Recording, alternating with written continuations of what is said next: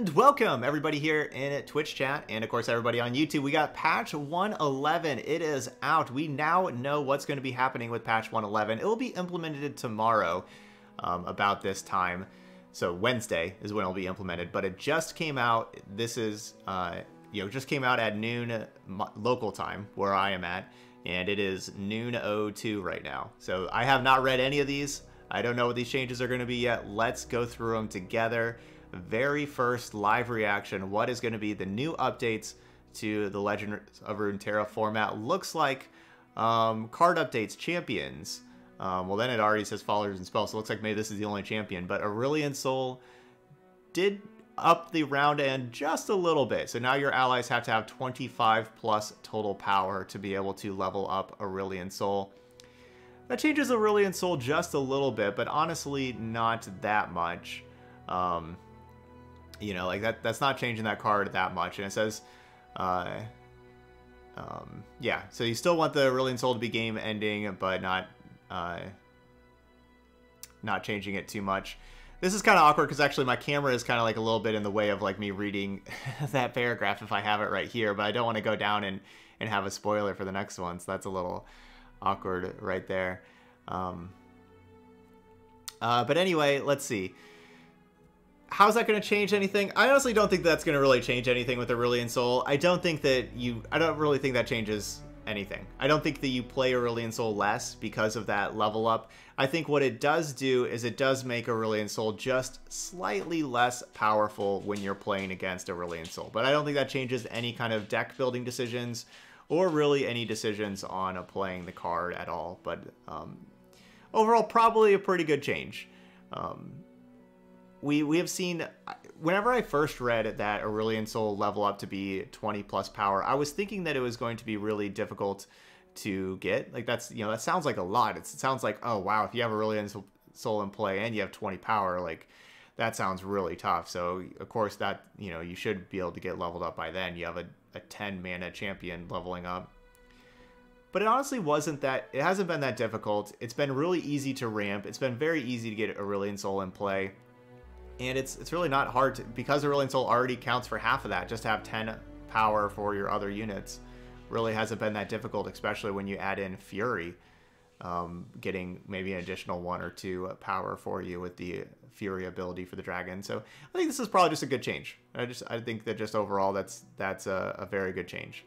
Um, yeah, so Aurelion Soul just as playable as was before didn't change playability whatsoever with this, but still just a um, a good change. So Radiant Guardian is now going to be four power. Still has everything else. Um, I think that's that's okay. So let's see. They they have the um, that the the triggered Radiant Guardian shut down the games, um, and her attack was too much.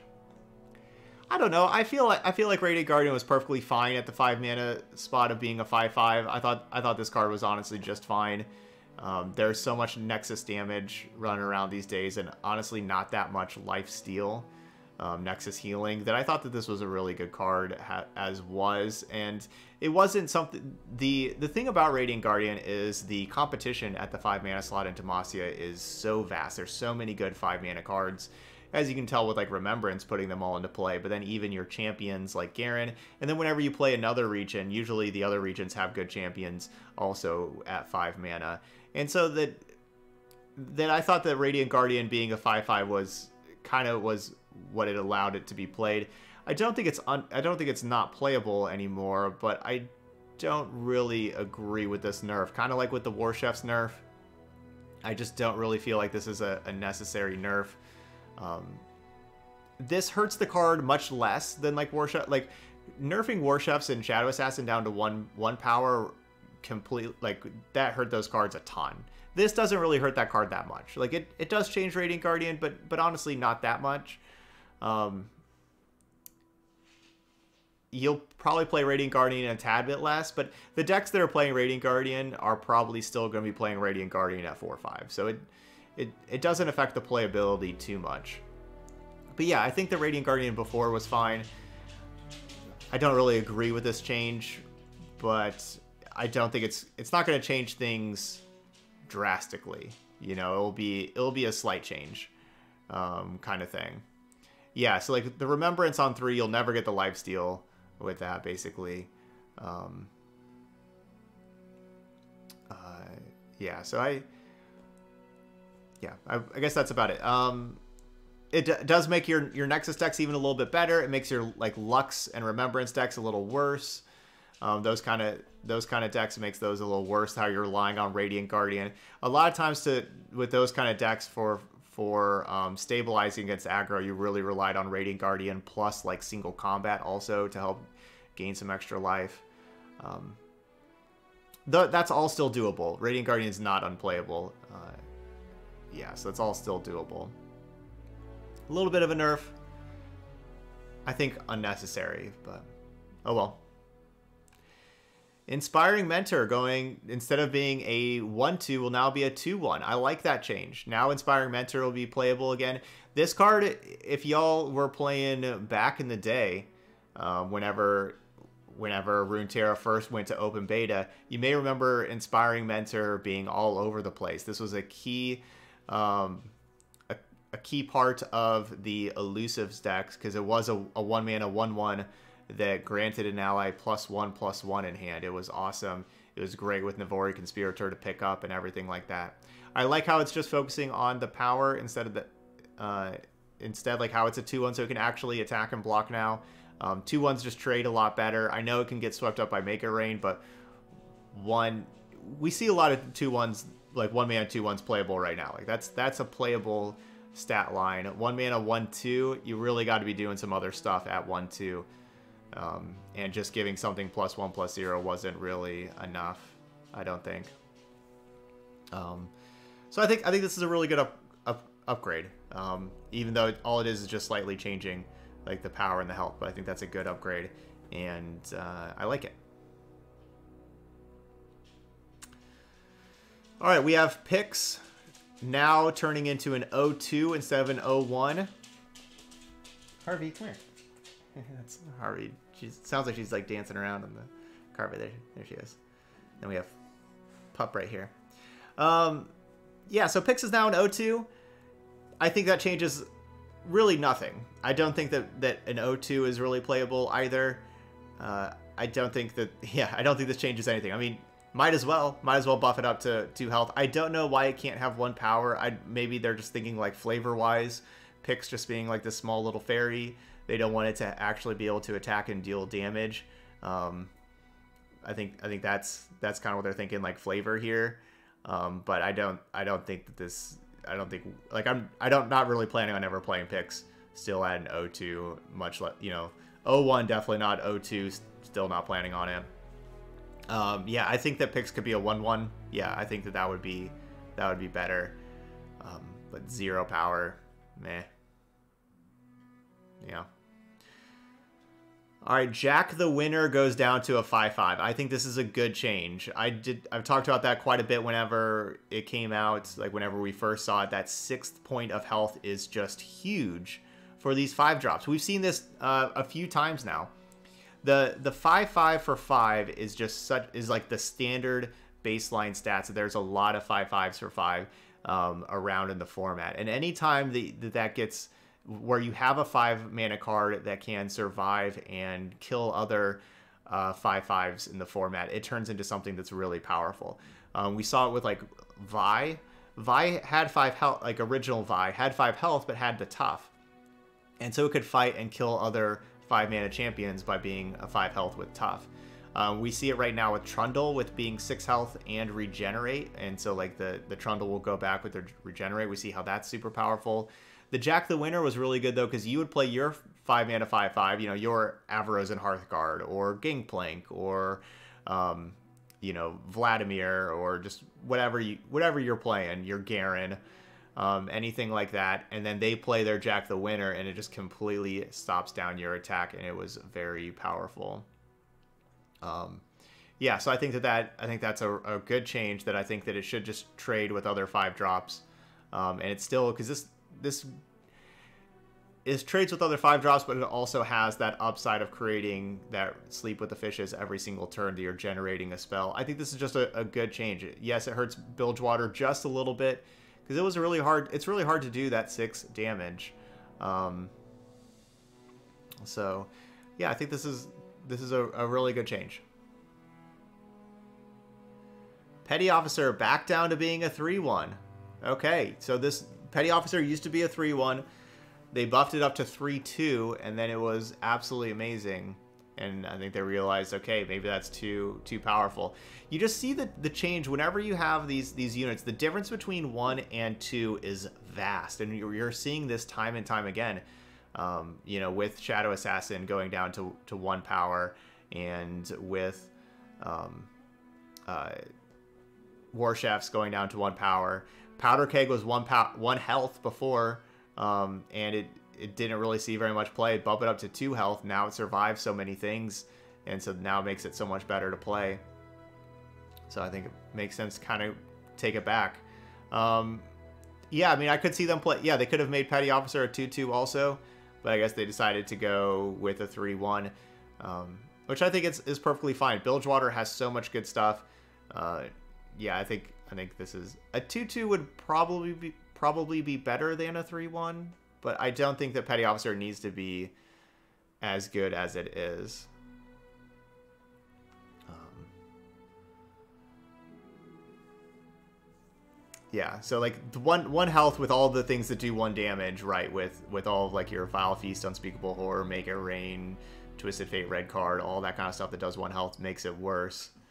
Um, that's the thing. There's there's there's a ton of cards that do one damage. There spells wise, there's not that many cards that do two damage just immediately. You have to you have to start spending a lot more mana, and so big big difference between one health and uh, two health. Bastion, wow, wow, this is this is quite a buff. Bastion's now giving it plus one plus one in spell shield. Whoa. So now they're going to give a boost to Targon buff decks because Targon buff decks, I guess, were struggling. I didn't, I didn't realize that, but um, yeah, works better with Taric. Yeah, give it the plus one plus one and and the spell shield. Um, wow, that is two, and it's yeah, it's grant an ally plus one plus one. That does mean it's a permanent buff. That does mean it's not just until end of turn. Grant do, does mean permanent. Um, so a permanent plus one plus one. So how much mana is a permanent plus one plus one worth? You see, like Radiant Strike is a temporary plus one plus one at one mana, and I think that's really fairly costed. Um, and you, if you kind of look at like Elixir of Iron is a temporary plus zero plus two for one mana to get that permanent plus zero plus two with the uh, the Vigor card, you have to spend two mana for the permanent plus zero plus two. So if Radiant Strike is a temporary plus one plus one, you would figure that a permanent plus one plus one would probably be two mana if you're just kind of looking at like that same um, trajectory of mana. And so basically what they did is they took Bastion, which was a three mana card that is kind of like a, a deny type card. You get your spell shield um, temporarily and stuff. And they basically added a two mana card along on it, thinking that it's not, you know, that wasn't good enough before. So that's huge. Um, yes, that makes that a lot better. And now also the spell shield. So that's just talk about the plus one plus one part, but now the spell shield part.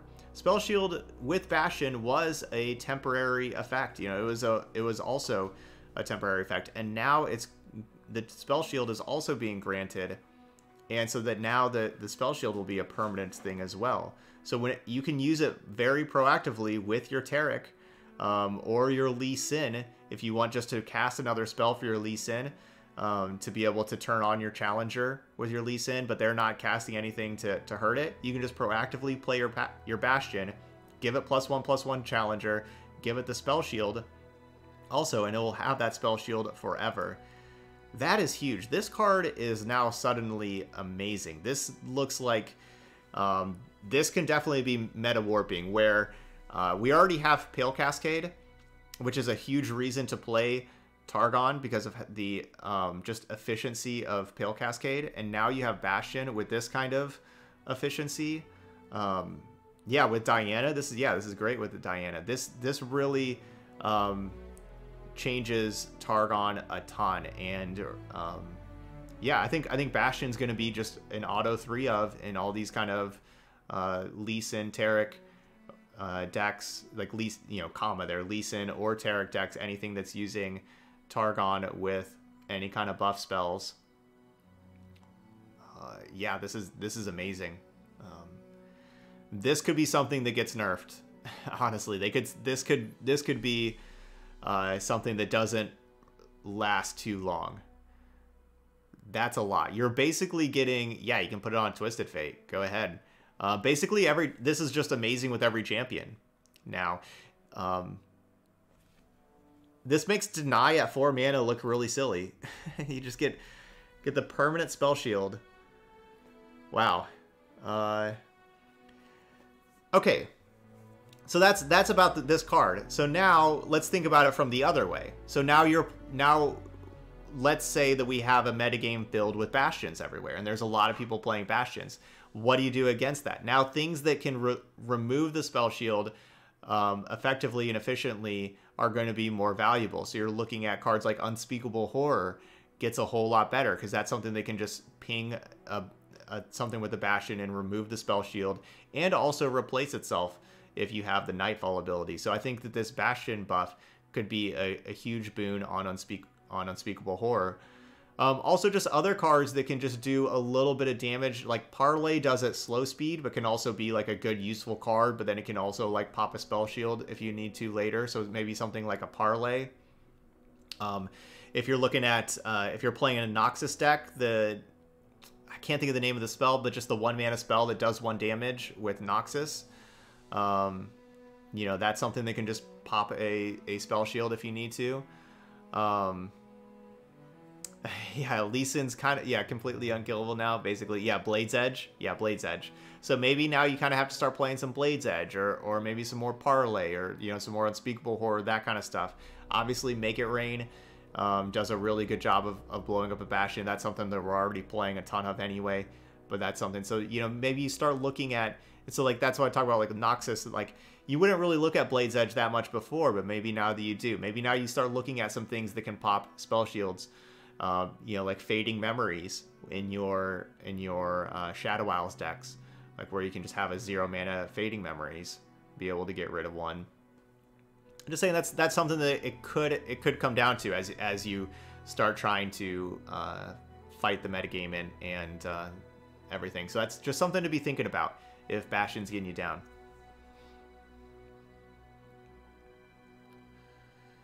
Yeah, I I I think this is too. Uh, yeah, okay. I guess talk, talk about my opinion with this card. I think this is too much. I I think that they went overboard with this.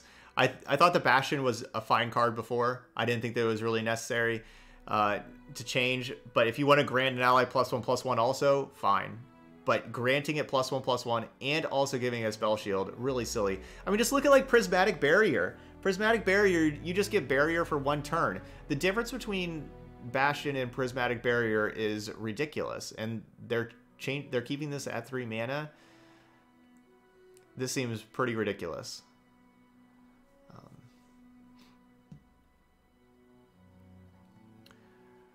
uh, this makes this makes Hush a lot better. By the way, Bash, Bastion makes Hush a lot better.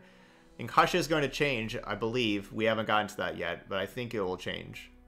We'll see that later if it does, and but just current Hush that makes that Hush better. All right, Cosmic Inspiration, seven mana. If you behold a celestial card, grant allies everywhere plus two, plus two. Yes, get rid of that refill your spell mana. That was completely unnecessary on that card. This card is still just awesome. yeah. So the old text, the old text said refill your spell mana, and yeah, I think they can just completely get rid of that, and that is that is fine. This was this was something that was definitely too good before. I think this is a, a, just a really good change. It's still a card that whenever you're invoking, you're probably going to be choosing quite a bit because it's still a really strong card. But before, whenever you had this and you got to refill your spell mana, so it effectively cost four mana at times when you already had your spell mana, it was just really silly to have this at four mana. Um, yeah, this was just an unnecessary. So I think this was just a just an all-out good change here. Yes, Grandfather Rumel, which we do have a, a Grandfather Rumel uh, donation deck to play or to build. I have a donation to build a Grandfather Rumel deck. I wanted to see if it would change, and it is. So now it is um, an 8 mana 8 4 that whenever you play it, you grant two allies plus 0 plus 4 instead of just one ally plus 0 plus 4. So, so Grandfather gives an extra hug. That's what they're saying. So, um, yeah, so doubling that play ability cool. So it has Overwhelm, it has Spell Shield, um, big Overwhelm with Spell Shield, so it's difficult to deal with. Um, you know, that's it's a playable card. It's a playable card. Um, yeah, not. It's not something you know. It's not something that you know. It's probably just a meme tier card. I don't think this is something you're going to be seeing in like your tournament decks and stuff like that, like your tier one decks but it's it's not it's definitely a more playable card than it was before, and we're going to be playing it soon in a meme tier deck for sure. All right, Hush.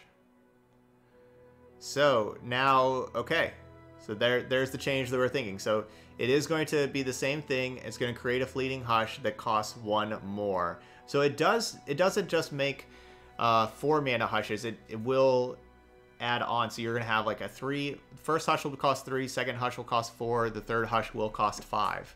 So we'll just um, add on extra mana to additional hushes. So you you still can ca- you can still cast three hushes in a turn, but that will cost 12 mana to cast three hushes in one turn. So two hushes are seven, three hushes are 12. I think this is a good change, especially if we're expecting more Targon with the big uh, the big buff to um, uh, to Bastion, that huge buff to Bastion. We're probably expecting more Targon, and therefore, if we got more Targon, then um, you know there's going to be more Hush around because more people are playing Targon. So if you're playing Targon, you're probably playing Hush. So it's pro- we're probably going to have a lot of Bastion and Hush fights coming up. And so it looks like Bastion got a big buff. Hush got a little nerf. Um, yeah. Uh, oh, okay. So there's new things. So um, we decided to make another change. So in patch 112, we're going to remove Hush's repeatable aspect entirely and reduce its cost. This change should focus Hush uh, on its core intended function and generally reduce its frustration when played against it. Okay, so it's going to be, uh, and then reduce its cost. So it's so basically Hush is going to be the same cost as Purify. So it's just going to be a two mana card with no fleeting. I think that's I think that's perfectly good. Um, that, yeah, that's good. Um, so it'll be, yeah, I think I think that's good. So Hush will be um, burst, it'll be able to hit champions. So it's basically it's a purify that can hit champions, but only does it for a round. Um, where purify cannot hit champions, but removes it complete, the silences completely. So like that's that's the big difference. That's why it's only a one round, is because hitting champions is usually the most important thing to hit. And so Hush will have that ability to hit champions. Okay.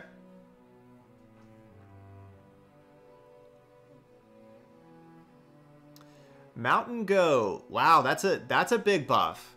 See, just a huge difference between one health and two health. Before Mountain Goat, not really playable at 3-1. Now at 3-2, very, very playable. Two mana 3-2, that's a great stat line. And you can strike and create gems. You know, now we're definitely putting this in our gems decks. Um, they really did buff. I was not really expecting this, but they buffed Targon pretty good here uh, with Bastion and now Mountain Goat you know, Taric decks and gem decks in general, and just ways that we're using gems, definitely buffed up. Um, man, I can't wait to put Bastion on like Teemo, get Teemo to be a little bit bigger, and have them stop killing my Teemo. That's gonna be fun to do. So now we can have like our gem assembly deck with Teemo. We can now have Mountain Goat as a good two drop because we had no two drops in that deck. Um, and yeah, more more Lee Sin, more more Taric. Uh, yeah, this is this is great in in Taric decks. Um, and yeah, also very good in Lee Sin decks because it's a, it's a unit that can get you more spells because your Lee Sin deck you need more spells than this one it can get you that. Um, so good. That could that's also like if you're playing Demacia Targon, this is a good Demacia two drop. Maybe if you don't have War Chefs anymore, in just like your support decks, like your Lulu decks, really like this card. This is very good in like if you're playing a Lulu Taric. Also, um, yeah, this is this is just a, a good buff to those kind of decks for sure. Okay, so that's so that's it. So no, nothing to no changes to Noxus at all. So the only changes with with Noxus and Bilgewater are hitting Petty Officer and Jack the Winner, and also making them a little stronger by by nerfing Radiant Guardian. Um, but no changes to like Nexus, straight Nexus damage or Nexus healing too much. The big news, I think, with this is how Bastion may completely change the game. It really may. That's a, a huge, huge change. Um, okay, uh, let's see what else we got. We got some uh, new Guardians. We got Astra, a new Guardian. We have a new card back with some Celestials. That looks pretty cool. So we have like this, uh, like the zero mana Celestial, the the two one Challenger, and then you have the one mana one, the the Taurus, and then the three mana one. I said this is the three mana Celestial, right? I think think so. Yeah, I got some Celestials. ASol's not unplayable at all. Assault did it. Aurelion Soul did not change playability one bit. It didn't. It did not change the. The Aurelion Soul change did not change the playability of Aurelion Soul in the slightest. All right, there's also going to be a minion bundle, which you get a new a new uh, guardian, a blue minion, and you get a blue minion emote. All right, new single single player lab journey to the peak. First ever single player lab. Ballyroid. So you're going to either choose Leona or Diana. And then you face three unique, increasingly challenging battles against form formidable enemies. Okay, this is really cool. Like, this is just really cool. Others doing more and more cool lab stuff. Um, and you you do some drafting and everything. That's awesome. Man, they're just doing a really good good job with this stuff. Um, now we'll see in-game leaderboards. Okay, so you'll just see like the points in um, in Masters. Okay. And then you can also see the leaderboard with your friends. And then some changes to the expedition archetypes. All right. Uh, let's see. Okay, you can start seeing your match history related features. Start getting there. Cool. And a couple of issues to fix. All right, so there we go. There's our updates for patch 111. Should be really exciting. We'll have to see what comes with the the Bastion buff. What's going to happen with that? We'll have to see if anything changes with Bilgewater, with Petty Officer nerf, um, and everything like that. So that's uh, pretty exciting. Then we'll have patch 112 here in just a couple of weeks, and that's whenever we'll see an even more changes and another change to Hush and everything like that. All right, but anyway, everybody on YouTube, hit that like button over there. Leave those comments. Let me know what you think of those changes. What are you excited to see after these changes? Um, yeah, which ones you like, what you don't like, all that kind of stuff. Want to hear from y'all on YouTube. But anyway, thank you so much for watching, and I'll see you for the next video.